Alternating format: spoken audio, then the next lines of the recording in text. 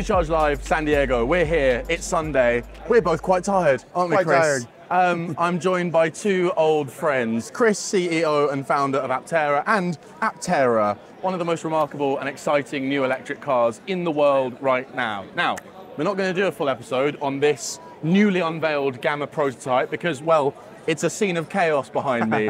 Chris and the Aptera have caused a bit of a stir at our humble show this weekend. This thing has been swarmed since Saturday morning when they first took the covers off it. So, we're not going to get too in detail. We're not going to give you the absolute basics of Aptera. If you have no idea who these guys are, pause this, go check out our main channel episode on these guys. If you haven't seen that, for the love of God, go and watch it. What we're going to do today, Chris, is we're going to have a look around Gamma and we're going to take a look at some of the key changes because this is your latest and greatest prototype. It is. I drove Alpha, which was looked quite finished but wasn't that finished. We took a spin in Beta, which looked very unfinished but was actually a little bit more finished. Yeah. And now we have this, which is kind of a combination of both. The engineering is there and it's starting to look like the finished article. So tell me a little bit about Gamma. Yeah, uh, Gamma has changed from beta that you drove in terms of the production content that's in the vehicle. So we're calling Gamma an 80% production content vehicle. It's our third stage in a four-step program to get us to production: Alpha, Beta, Gamma, Delta. Um, you've ridden in Alpha and Beta.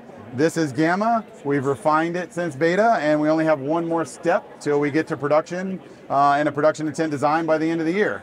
So How some many- of the big changes um, from alpha and beta since you've seen it is uh, the wheel pants first of all so it actually speeds up the air towards the back of the wheel pan and it sucks the high pressure uh, towards the rear which is what the whole vehicle does the cambered body actually takes the high pressure zone that forms in front of the vehicle and it speeds up the air under the belly and sucks it to the back of the vehicle the problem with most modern vehicles today an suv or sedan is you've got a big blunt front end and the high pressure zone that's created in front, it can't go anywhere. So we're off the ground more. Um, the aerodynamics of this have changed such that the nose is a lot pointier and a little lower. The whole vehicle is actually longer by four inches, so we can talk about that when we're in the rear.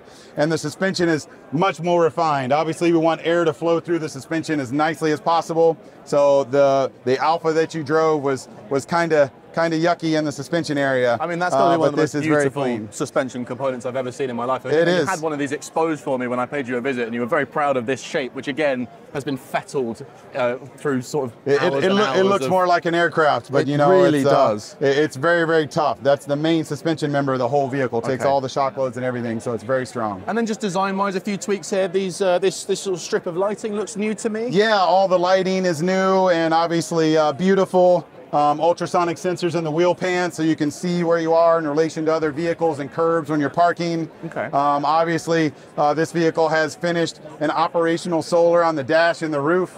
You can option up the Aptera with an optional solar hood and tailgate. Um, so that full solar package will get you 40 miles of free solar range, free from the sun every day. And this, if I'm right, is the first uh, prototype that you've actually integrated the solar panels on. Is that correct? Yeah, it was only last week that we finally had full solar on a vehicle And charging success? through our charge controller to our 400 volt battery pack. Total success. We have a super efficient charge controller. I'm so proud of our electrical engineering team and our solar team Wow. to put all the pieces of the puzzle together. You test everything on a bench. We had a solar mule that's outside, but it's burning through resistors or charging a small battery pack. It's you know, it's you test all the pieces, but this is now all put together and it's all working. It's amazing. I love it. Phenomenal. And if we come down the side a little bit, Chris, I'm going to get Andy to get some close-up shots of this. He's going to have to fight some people to achieve that. But these are the most beautifully, seamlessly integrated solar panels I've ever seen. These are completely flush with the bodywork. You almost wouldn't spot that they were there. Yeah, aerodynamics is very important to us. So everything's conformal and super flush. We have our own proprietary solar stack. We make our own solar panels. Um, these uh, uh, solar interconnects are proprietary. Uh, we've shown them off on this vehicle, uh, but in production you won't see them as much.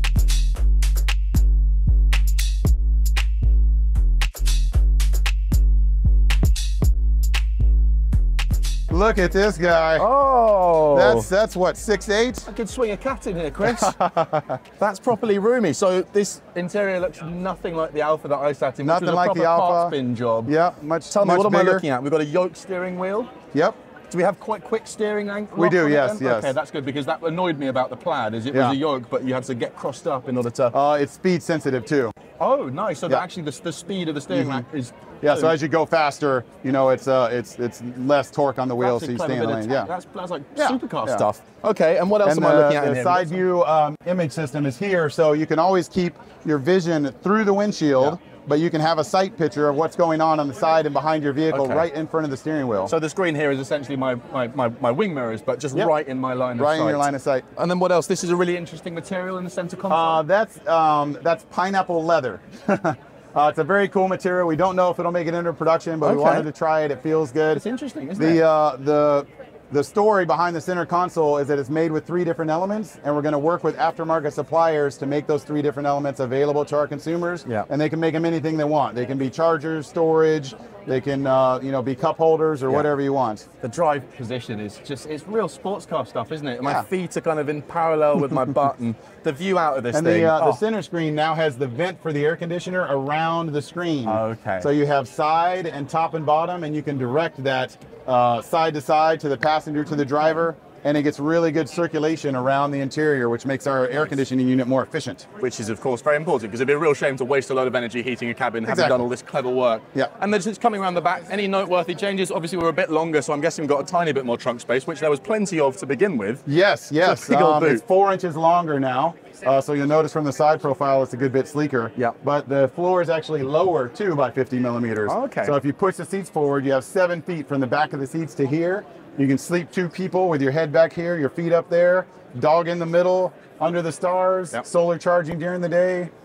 Nothing but bliss. And then what else what else do we need to talk about before we wrap this up this is Uh, uh, interesting the charger behind yes, this plate, beautiful stays. charge port, this Tesla charge port, which is just superior engineering, is is uh, ready for use and ready for charging. And as far as the company, what stage are we at now? We've got Gamma. When can we expect the next prototype? What are you guys? Are you here taking pre-orders? Are you looking for investment? What's We're hoping to have a production intent design done by the end of the year. Yeah. Uh, but some of that is gated by investments. So we're here asking people to go to invest.aptera.us and support the company. And with pre-orders and investment, we hope to have uh, our production lines ready into next year and scale production in 2023. How many times do you think you've said all of this this weekend? Several times. a few times. Are you tired? Uh, I'm drinking a Red Bull now, and I'll be good to go in two minutes. Congratulations on being the star of the show. Thank you, thank you. We There we appreciate it. We'll be back with these guys as soon as we're allowed to drive this.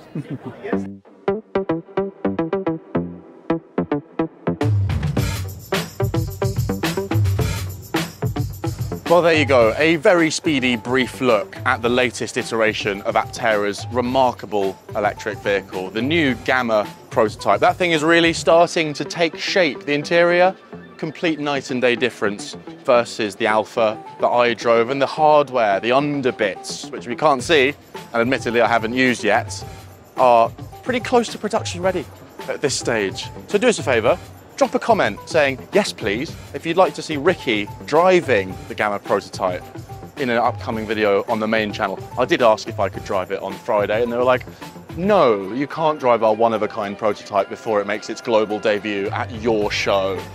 It's fair enough, truth be told, but I'm really looking forward to featuring that thing on the channel again very, very soon. And now time for an old school TV walk off camera.